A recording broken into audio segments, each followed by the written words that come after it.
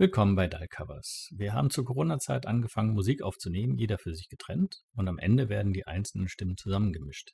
Die Qualität des Gesamtergebnisses ist dabei abhängig von jeder einzelnen Aufnahme, deswegen nehmen wir nicht einfach mit einem Handy auf. Hier, was wir benutzen und was du brauchst, um mitzumachen. Gehen wir davon aus, dass du ein normales Instrument spielst oder singst, ein Saiten-, Blas- oder Tasteninstrument. Diese Instrumente erzeugen Tonschwingungen, die wir aufzeichnen wollen. Einige Instrumente haben einen Tonabnehmer integriert, sonst gibt es Tonabnehmer speziell für das Instrument oder du verwendest ein Mikrofon.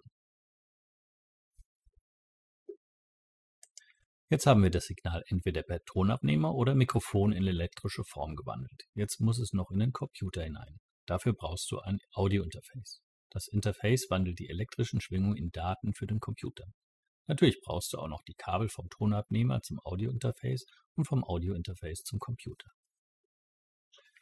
Damit du das jetzt aufnehmen kannst, brauchst du eine Software, die Töne aufnehmen und auch wieder abspielen kann. Genannt wird diese Software DAW, D-A-W, das steht für Digitale Audio Workstation.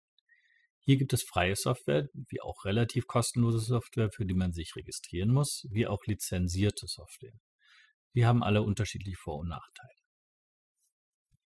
Wir haben jetzt alles, um aufzunehmen. Aber zwei Dinge sind noch wichtig. Wir müssen die einzelnen Stimmen miteinander synchronisieren. Dafür musst du die anderen Stimmen hören können. Allerdings wollen wir möglichst wenig Nebengeräusche aufnehmen. Wenn du einen Tonabnehmer direkt am Instrument hast, gibt es weniger Probleme. Wenn du ein Mikrofon hast, werden auch Nebengeräusche, also Umgebungsgeräusche aufgenommen, unter anderem auch die anderen Stimmen, wenn du sie über einen Lautsprecher abspielst. In diesem Sinne ist ein Kopfhörer wichtig und eine möglichst geräuscharme Umgebung. Das ist alles. Im Normalfall brauchst du ein Instrument mit Tonabnehmer oder Mikrofon, ein Audiointerface, einen Computer mit Software und einen Kopfhörer.